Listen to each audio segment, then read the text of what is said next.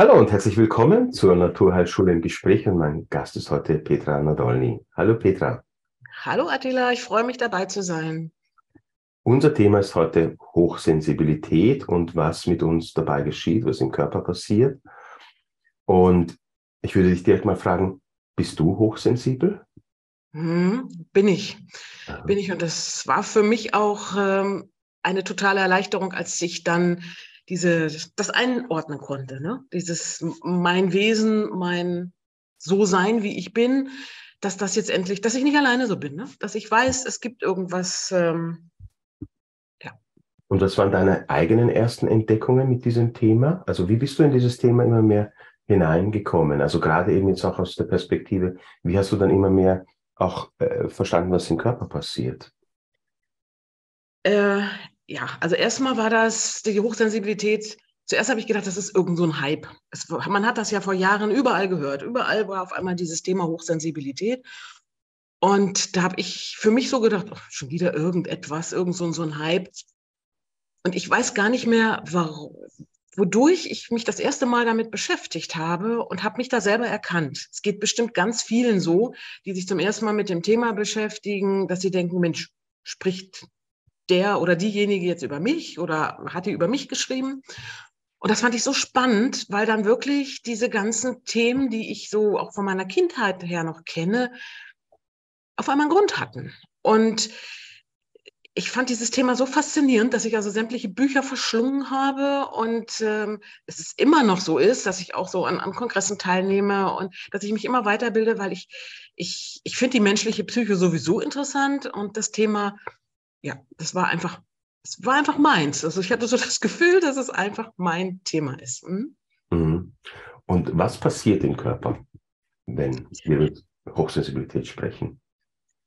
Äh, ja, erstmal alle Hochsensiblen wissen ja, dass wir als Hochsensible sehr, sehr stressempfindlich sind. Ganz viele Dinge, die die Normalsensibler als völlig ja, normal hinnimmt, ist für uns zum Teil schon sehr schnell überfordernd. Was direkt in unserem Körper passiert, kriegen wir ja so gar nicht mit. Das kriegt man eigentlich erst mit, wenn man weiß, eben, was passiert im Körper. Ähm, man weiß ja mittlerweile, dass unser, unser Gehirn oder beziehungsweise der, der, der Thalamus die Eindrücke, die wir aufnehmen, filtert. Also das ist wie so ein Tor, was dann sagt, äh, das ist uninteressant, das lassen wir mal nicht durch. Und ähm, was interessant ist, das lassen wir durch. So, und bei uns Hochsensiblen ist es so, dass dieses Tor eben sperrangelweit auf ist und das alles rein kann. Dass wirklich alles durch kann, was natürlich auch im Körper verarbeitet werden muss. Das heißt, was ganz, ganz schnell zu Stress führt diese ganze Kaskade eben vom Thalamus angefangen bis zu den Nebennieren ähm, in Stress ausartet, was normalerweise ja auch so gewollt ist, was auch okay ist, aber das, was bei uns eben sehr, sehr viel mehr ist. Und dieser Stress verbraucht unheimlich viele Nährstoffe. Und das ist eigentlich auch ein ganz großes Thema der Hochsensiblen. Wir brauchen mehr Nährstoffe. Wir sind, äh, wir haben einen ganz hohen Verbrauch an bestimmten Nährstoffen, weil wir eben diese Nährstoffe brauchen für äh, die Mitochondrien, damit wir leistungsfähiger sind, was bei uns ganz schnell abnimmt äh, für die, für die Neurotransmitter, aber auch für die Hormone. Und das spielt alles im Körper ja ineinander.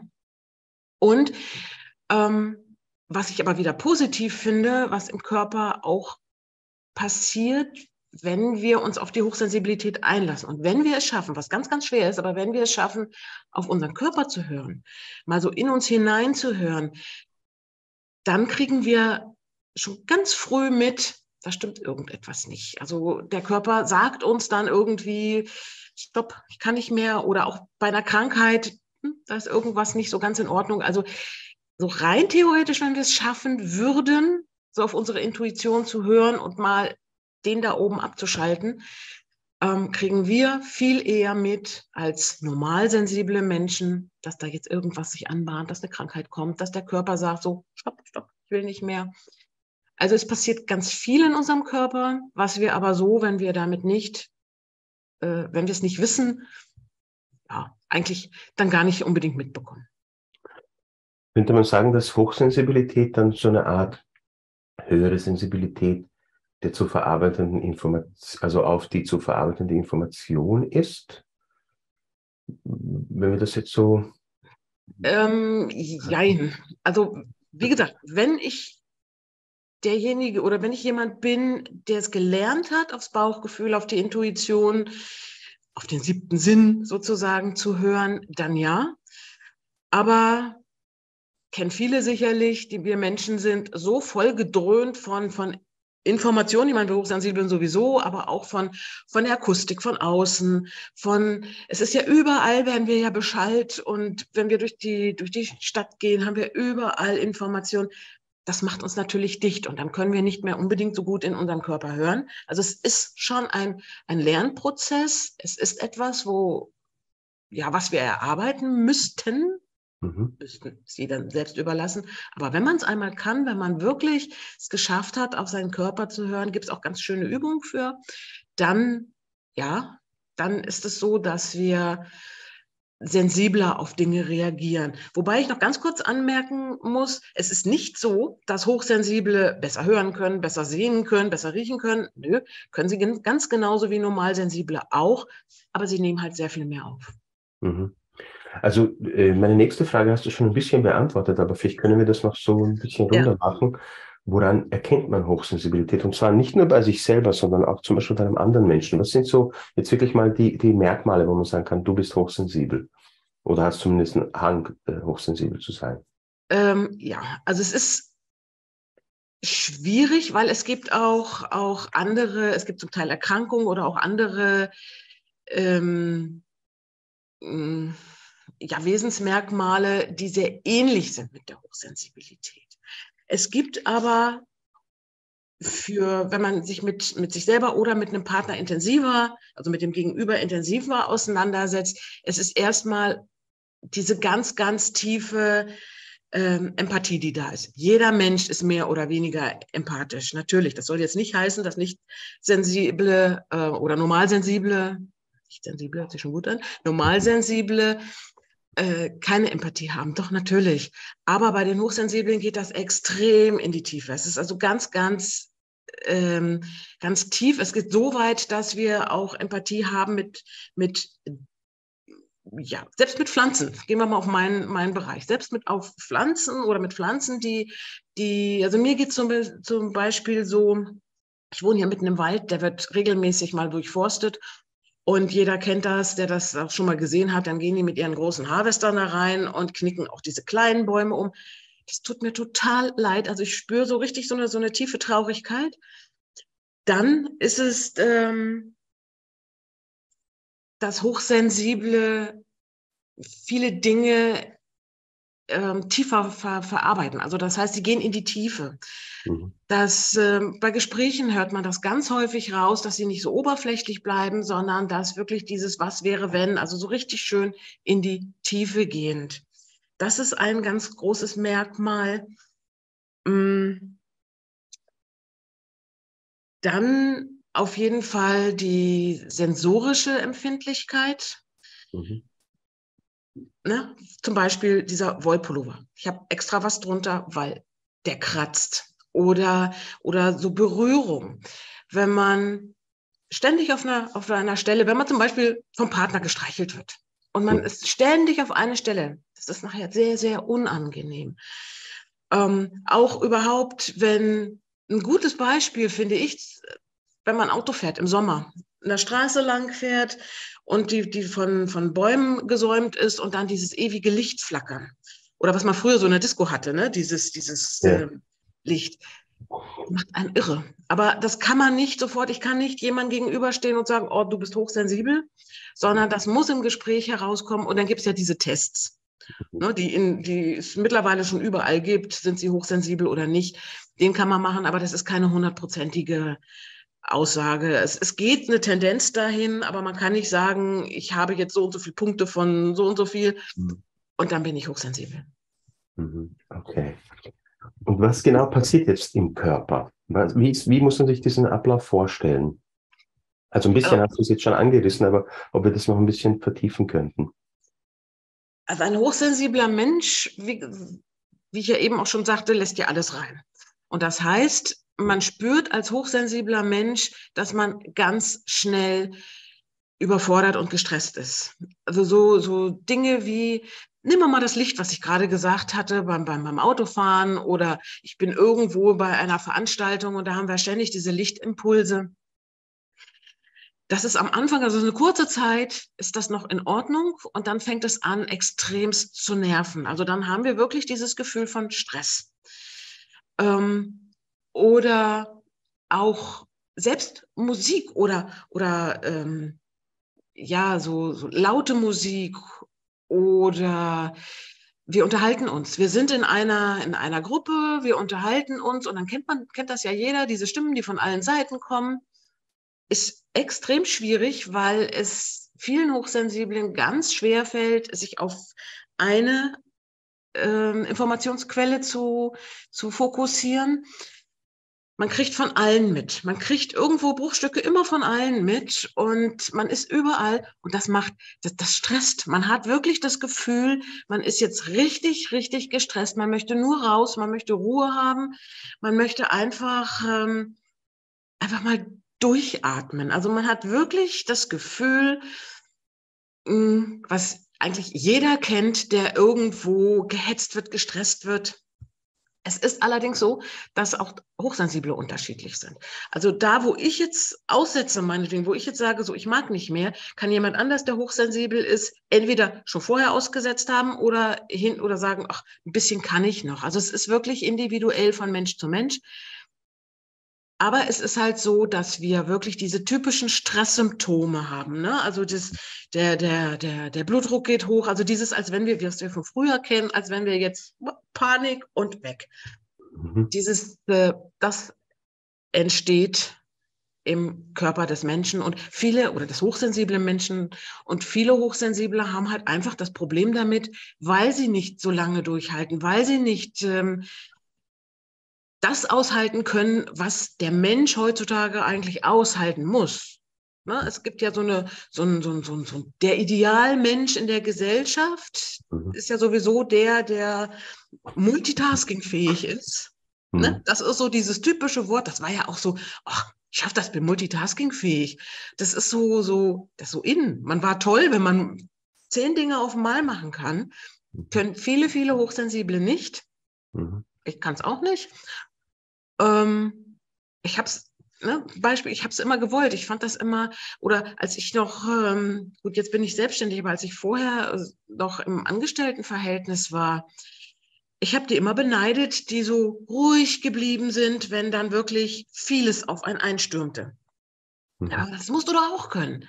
Kann ich aber nicht, geht nicht. Ich kann mich nur auf eine Sache konzentrieren und die dann gut und dann kann das nächste kommen. Also das ist wirklich richtig, richtig Stress, richtig.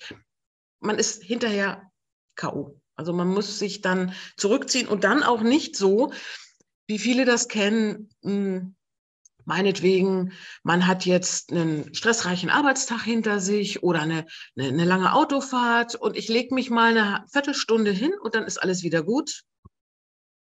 Uh -uh ist nicht. Also das braucht wirklich, wirklich länger, bis man dann wieder den Ruhe, das ruhige Level erreicht hat.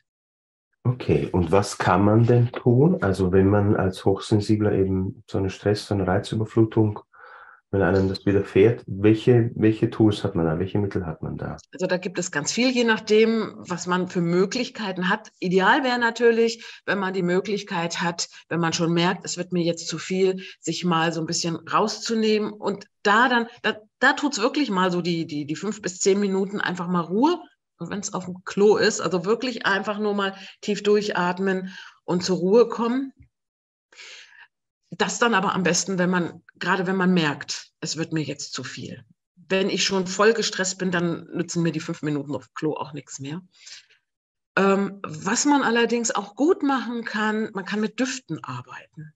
Es gibt ganz viele Düfte, also ätherische Öle, die so diesen, diesen ähm, Stresslevel runterfahren, die es kommt aber immer darauf an, mag man den Duft oder mag man nicht. Also man kann jetzt nicht sagen, so zum Beispiel Lavendel beruhigt. Es gibt aber sicherlich den einen oder anderen, der sagt, oh, Lavendel erinnert mich immer so an den Kleiderschrank meiner Oma und da habe ich mich überhaupt nicht wohl gefühlt. Also macht dann eher Stress. Es gibt aber so, so Düfte wie also ich für mich kann jetzt sagen, so diese, diese süßen Düfte wie Vanille Tonka oder ein Rosenduft. Und wenn man dann, es gibt so kleine ähm, Riechstifte, die kann man aufschrauben, da ist ein, ein, ähm, so ein Pad drin. Mhm. Wenn man da jetzt so zwei, drei ähm, Tropfen drauf tropft und wenn man dann im Stress ist und einfach mal diesen Riechstift, ja, mal so, so ein, zwei, dreimal tief einatmen. Also das ist schon etwas, was man jetzt kurzfristig machen kann. Man kann aber längerfristig dann noch wirklich dafür sorgen, dass man A, richtig gut von der Ernährung dasteht, also sprich mit den Nährstoffen, dass die, dass unsere ähm, ja, unsere Neurotransmitter, dass sowas wie Serotonin wirklich gut da ist und ähm, uns dann hilft, das Ganze zu überstehen. Also im Idealfall wäre es natürlich am besten, wir könnten mal eine Auszeit nehmen, ist nicht immer möglich. Mhm. Also Auszeit, Duftstoffe und Nährstoffe hast du ja auch schon genannt. Ähm, Gibt es da so eine Art Schnellhilfe oder, oder ist das eher etwas, das man regelmäßig machen sollte? Also die Duftstoffe sind meiner Meinung nach eine Schnellhilfe. Also wirklich, wenn ich jetzt weiß, das ist ein Duft, den finde ich ganz toll. Und alleine auch durch dieses tiefe Einatmen. Ne? Dieses ähm, äh, ist ja auch was, es ist ja auch das, was die Raucher so gerne zum Rauchen nehmen oder weswegen sie gerne rauchen, wenn sie Stress haben, einfach dieses tiefe Luft holen, um mal, um sich runterzufahren. Also das auf jeden Fall. Wenn wir die Möglichkeit haben, können wir natürlich auch mal so ein bisschen so, so, so meditieren oder ähm, Entspannungsübungen zu machen, also Entspannungsübungen machen. Da müssen wir nicht mal den Platz verlassen, wenn wir da die Möglichkeit haben, wenn wir am, am Arbeitsplatz sind, am Rechner sind und wenn eben nicht gerade jemand mit mir spricht oder ich nicht gerade in einer äh, Videokonferenz bin, aber dass ich dann wirklich mal, äh, ja, und wenn ich einfach mal so eine Reise durch den Körper mache in Gedanken, dass ich einfach mal runterkomme oder ich weiß noch früher, als Kind habe ich mir ganz viel, ich bin ganz viel so, so, ja, in Gedanken gewesen und habe so, so in, in Tagträumen war ich ganz häufig. Und selbst das, früher habe ich mal gedacht, hm, ist doof, ne? Das ist einfach so, so, ein, so ein Fliehen aus dem Hier und Jetzt. Aber selbst die Tagträume würden uns helfen, wenn wir es denn können, wenn wir es vom Kopf her können, einfach mal fünf Minuten ähm, zu entspannen. Vielleicht kann man auch eine, eine eigene Duftreise machen. Also eine Duftreise kennt vielleicht so der eine oder andere, da ist dann jemand anders, der spricht und man selber stellt sich das vor.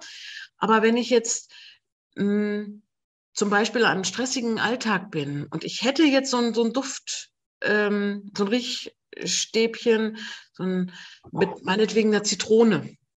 Und ich stelle mir einfach vor, ich bin irgendwo im Süden, ich bin an einem Zitronenbaum, pflück mir eine Zitrone und rieche dann dieses, dieses, diesem Riechstift.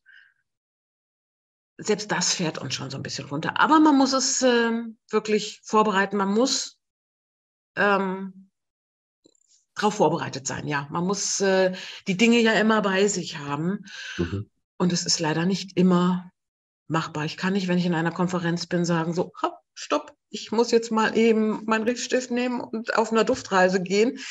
Geht nicht. Da muss ich dann wirklich hinterher mir dann die Auszeit nehmen. Mhm. Und das ist dann ein bisschen länger. Gibt es da Praktiken zum Beispiel für den Hochsensiblen, zum Beispiel am Abend? Was, was macht man am Abend am besten, um den Tag zu verarbeiten, um ruhiger schlafen gehen zu können? Oder eventuell am Morgen? Hast du da so Praktiken, wie man? Also am Abend ganz wichtig, und das fällt vielen so schwer, nicht bis ganz spät in der Nacht Fernsehen gucken oder ähm, ne, hier so das, das, das Handy mit ins Bett nehmen und da dann noch weil das ist alles, was, das, was uns nicht zur Ruhe kommen lässt. Also wir, ich würde vorschlagen, am Abend vielleicht eine, mindestens eine halbe Stunde, bevor ich ins Bett gehen möchte, mit Entspannungsübungen oder wer die Möglichkeit hat, im Sommer, wenn man dann vielleicht auf dem Land wohnt, einfach nochmal so einen Spaziergang durch den Wald zu machen, um wirklich mal den Kopf abzuschalten, weil das ist nicht so einfach und ähm, mal wirklich runterzukommen. Und am Morgen, da würde ich einfach mir die Zeit nehmen, ruhig zu starten. Also nicht so, wie viele es machen, aus dem Bett springen, schnell sich anziehen, neben zwischendurch eine Tasse Kaffee trinken und dann los.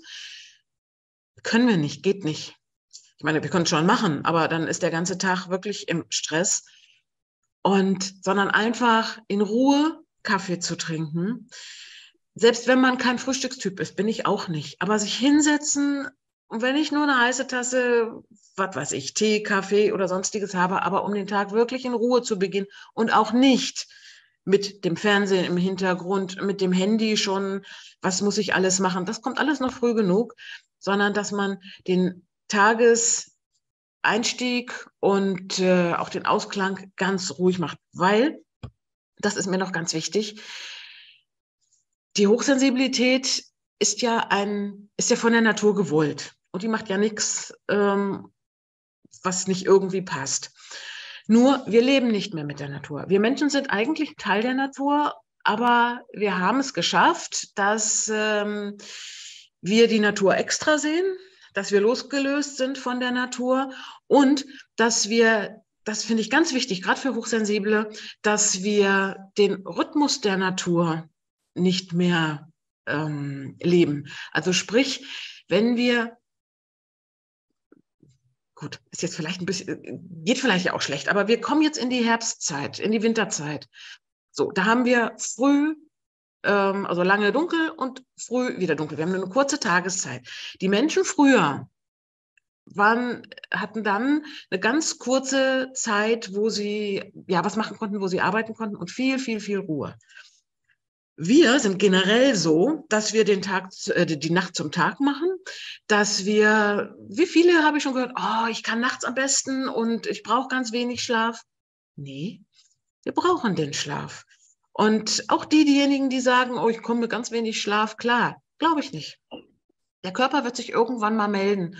Und das ist einfach das, weil wir gehen konträr des Rhythmus der Natur. Wir machen den die Nacht zum Tag. Wir ähm, legen überhaupt keine Ruhephasen ein, was jeder Mensch früher, jedes Tier, wo es im Übrigen auch Hochsensible gibt, ähm, macht. Ne? Also, und wenn es nach dem, nach dem Mittag ist, mal so eine Ruhepause. Wenn ich sage, oh, ich lege mich nach dem Mittag mal hin, dann heißt es gleich, oh, das ist schon alt. Ne? Also das ist, wir leben wirklich konträr des natürlichen Rhythmus und das ist wirklich was, was uns ähm, ja nicht unbedingt gut tut. Mhm. Und du bietest auch einen wunderbaren Kurs zu diesem Thema an. Ähm, was was äh, kann man bei dir äh, in diesem Kurs erlernen? Eigentlich versuche ich alles, was heißt eigentlich? Ich versuche alles über die Hochsensibilität in ähm, vier Blöcke zu packen. Ist ein bisschen schwer, aber also wir haben am Anfang, erzähle ich, was die Hochsensibilität überhaupt ist, wo es herkommt, ähm, wie man sie erkennt. Dann gucken wir uns ein ganz wichtiges Thema an, die hochsensiblen Kinder, weil das finde ich extrem wichtig, gerade die Kinder, die im Kindergarten und in, in der Schule sind, weil ich, ich kenne es ja selber von mir, mh, hm, alle Kinder werden gleich behandelt, ist ja auch im Grunde gut, aber man sollte als, als ähm, Pädagoge schon wissen, dass hochsensible Kinder ein bisschen mehr Ruhe brauchen. Also das finde ich ganz, ganz wichtig, das Thema. Und vor allem, weil ADHS, ADS, Hochsensibilität zum Beispiel sind sich sehr, sehr ähnlich. Und ich habe immer so das Gefühl, dass dieses Thema ADHS ähm, sehr, sehr schnell da ist. Also ein, ein Kind, was meinetwegen nur hochsensibel ist, wird auch in diese Schiene geschoben. Also das ist ganz, ganz, ganz wichtig. Dann schauen wir uns äh, die Gesundheit an. Ähm, also hochsensibel sind jetzt nicht per se äh, kränker als normalsensible, aber sie haben halt den Hang zu ähm, Stress, Stress, Burnout, Depression. Also das geht ganz leicht da in diese Richtung. Und ähm, was ich ja eben auch schon erwähnt habe, wir brauchen wesentlich mehr Nährstoffe als normalsensible, weil wir einfach in diesem Stress sind. Mhm. Was natürlich normalsensible, die im Burnout sind, auch brauchen. Und im letzten Teil schauen wir uns mal an die Hochsensiblen in der Therapie. Also wenn jemand ähm, äh, Heilpraktiker ist oder psychologischer Berater oder wie auch immer, wenn dann der Hochsensible in meine Praxis kommt, auch mit dem Thema Hochsensibilität in der Partnerschaft und ähm, äh, was hatte ich noch? Hochsensibilität in der Partnerschaft war da noch und dann war noch ein Thema. Hm, lasst euch überraschen, weiß ich jetzt gar nicht. Ich habe so, viel, hab so viel geschrieben, ähm, dass ich als ich fertig war, gedacht habe, die vier Tage oder diese vier Blöcke reichen gar nicht. Ich möchte einfach, dass dieses Thema, und das ist mir ganz, ganz wichtig, dass dieses Thema nicht so negativ rüberkommt. Ich kenne so viele Menschen, mit denen ich zu tun habe mit dem Thema Hochsensibilität, die einfach immer nur das Negative sehen. Ja, es gibt negative Sachen, aber wenn man das richtig angeht, ist die Hochsensibilität einfach eine Gabe, dann sollte man das als Gabe sehen. Es ist nichts Besonderes, das sind keine besonderen Menschen, aber wir können es für uns nutzen und das ist mir so wichtig.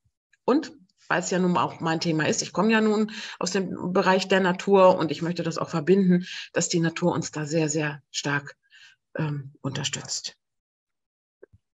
Okay, liebe Petra, vielen, vielen Dank für diesen ganz, ganz tollen Einblick in diese, diese wunderbare Welt. Gerne. Äh, und da, da hätten wir ja auch gleich ein paar Themen, wo, an denen wir ansetzen könnten, aber das machen wir nächstes Mal. Also vielen, vielen Dank für deine Zeit und auch ein Dank an unsere Zuschauer für ja. ihre Zeit. Dankeschön. Ich bedanke mich auch. Vielen herzlichen Dank und vielleicht sieht man sich ja mal irgendwo. Danke.